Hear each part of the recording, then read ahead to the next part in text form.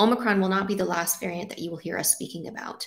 Um, the next variant of concern will be more fit. And what we mean by that is it, it will be more transmissible because it will have to overtake what is currently circulating.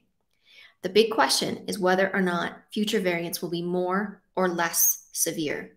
The other thing we expect with variants is that there may be more immune escape, which means our countermeasures, our vaccines will be less effective.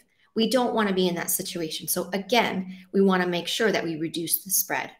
So, future scenarios that we think about, we expect that with interventions, if they are used appropriately, we expect there to be low level circulation.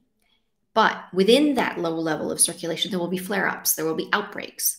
And those outbreaks will occur in people who are not well protected, either because they have not been vaccinated, um, because they don't have access, they refuse to be vaccinated because there is vaccine hesitancy, which we are working to address globally, or they have been infected and they may have waning immunity over time. But we may also see a seasonal pattern, as Mike has mentioned. This is a respiratory pathogen. So we expect as we go forward, we will typically see a, a pattern you know, in the northern hemisphere, you see in the winter months, in the southern hemisphere, in their winter months. And in the tropics, it's a little bit different. But we do expect there to be some kind of seasonality. Um, but the variants are a wild card.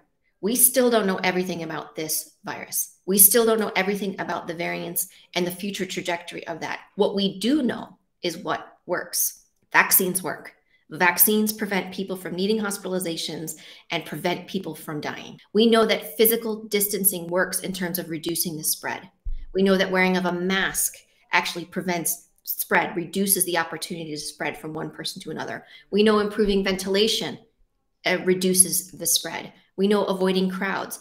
That does not mean we shut down society, but what we're looking for is a layered approach, and we really need everybody's help.